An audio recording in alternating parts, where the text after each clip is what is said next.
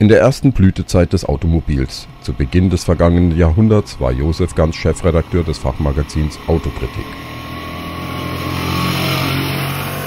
Der überaus findige Journalist hatte nur ein Ziel: Er wollte das perfekte Automobil konstruieren. Es sollte klein, leicht, kostengünstig, komfortabel und effizient sein. 1931 präsentierte Josef Ganz schließlich den Prototypen des Maikäfer für viele Kenner gilt der Grundgedanke des Maikäfers bis heute als Ursprung des Volkskäfers. Geboren wurde Josef Ganz in Budapest und bereits als Zwölfjähriger ließ sich das Technikgenie eine elektrische Schutzvorrichtung für Straßenbahnen patentieren. 1929 wurde Ganz von der deutschen Motorradfabrik Ardi unter Vertrag genommen. Ziel war die Herstellung eines Volksautos mit seinen umfassenden Kenntnissen über die Automobiltechnik seiner Zeit und als Ingenieur hatte Josef Ganz bereits konkrete Ansätze. Unbedingt sollte das Prinzip der doppelten Pendelachse in das neue Fahrzeug integriert werden. Gesehen hatte er dieses beim Tatra 11, mit dem er sogar Treppentestfahrten gemacht hatte, um die Funktionalität der Pendelachse zu testen. So entstand 1930 sein erstes Kleinwagenprojekt und 1931 der bei den Adlerwerken gebaute Prototyp mit dem Spitznamen Maikäfer. Es war das erste Fahrzeug mit einer unabhängigen Vorderradaufhängung und doppelter Pendel und doppelter Pendelachse an der Hinterachse. Einige technische Innovationen prägten dieses kleine Gefährt.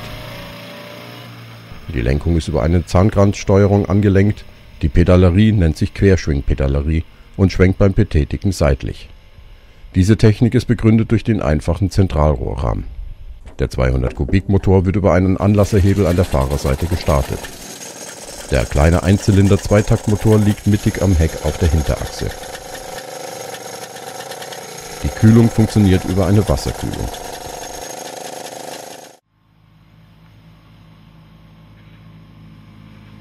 Der kleine offene Wagen erreicht eine Höchstgeschwindigkeit von ca. 45 km pro Stunde und ist sehr wendig und hat dabei eine ganz herausragende Straßenlage.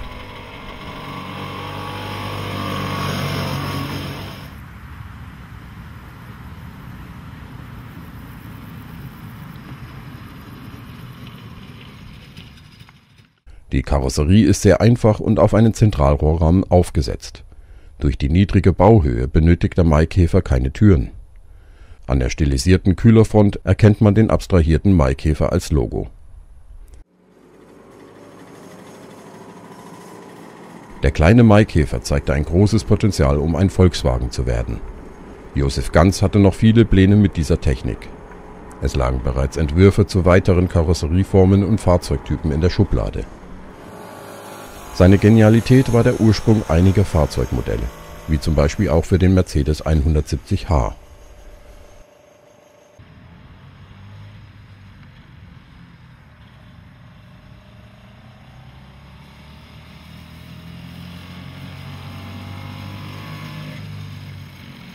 Doch der Zweite Weltkrieg und das Naziregime wurden ihm zum Verhängnis.